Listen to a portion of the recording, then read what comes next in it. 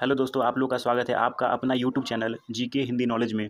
आज की इस वीडियो में आप लोगों को संगठन का नाम क्या है, उसका मुख्यालय कहाँ है और स्थापना कब हुआ था, उसके बारे में बताने वाला हूँ। तो सबसे पहला संगठन है रेड क्रॉस संगठन। इसका मुख्यालय जिनोवा में है, जो कि स्विट्ज़रलैंड में है। जिनोवा में है, जो कि स्विट्ज़रलैंड में पड़ता है। इसका स्थापना अठारह ईस्वी में हुआ था। दूसरा संगठन का नाम है अंतर्राष्ट्रीय दूरसंचार संगठन आईटीयू इसका भी मुख्यालय जिनोवा में ही है। और इसकी स्थापना अठारह सौ पैंसठ ईस्वी में हुआ था। तीसरा संगठन, अंतर्राष्ट्रीय श्रम संगठन आईएलओ इसका भी मुख्यालय जिनोवा में ही है और इसका स्थापना जो है 1919 ईस्वी में हुआ है। चौथा संगठन का नाम है अंतर्राष्ट्रीय मानवीय मानकीकरण संगठन आईएसओ इसका भी मुख्यालय जिनोवा में ही है और इसकी स्थापना उन्नीस ईस्वी में हुई थी।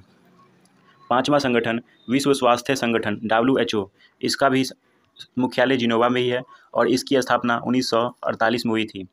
छठा संगठन, विश्व मौसम विज्ञान संगठन डब्ल्यूएमओ विश्व मौसम विज्ञान संगठन, इसका भी मुख्यालय जिनोवा में ही है और इसकी स्थापना 1950 ईस्वी में हुई थी। सातवां संगठन, संयुक्त राष्ट्र, शरणार्थी उच्चायुक्त, U N H C R, इसका भी मुख्यालय क्या है? जिनोवा में ही है और इसकी स्थापना 1950 ईस्वी में हुई थी। आठवां संगठन, विश्व बौद्धिक संपदा संगठन डब्ल्यू आई पी ओ इसकी स्था इसकी भी मुख्यालय जो है, वो भी जिनोवा में ही है और इसकी स्थापना उन्नीस सौ सड़सठ ईस्वी में हुई है। नौवां संगठन, विश्व व्यापार संगठन डब्ल्यू टी ओ इसका भी मुख्यालय जिनोवा में ही है और इसका जो स्थापना हुआ था, उन्नीस सौ पंचानवे ईस्वी में हुआ था।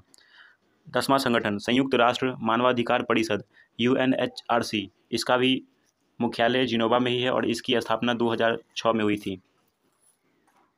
अब ग्यारह ग्यारहवा संगठन का नाम है अंतर्राष्ट्रीय ओलंपिक समिति आईओसी इसका जो मुख्यालय है वो लूना से, लुसाने, जो कि स्विट्ज़रलैंड में है बाकी सब कहाँ था? जिनोवा में था। ये कहाँ है? लुसाने है, जो कि स्विट्ज़रलैंड में ही है।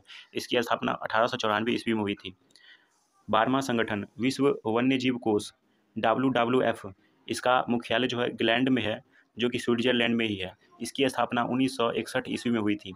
अगर आप लोगों को वीडियो अच्छा लगा तो मेरे चैनल को सब्सक्राइब करके बेल आइकन को दबा दें।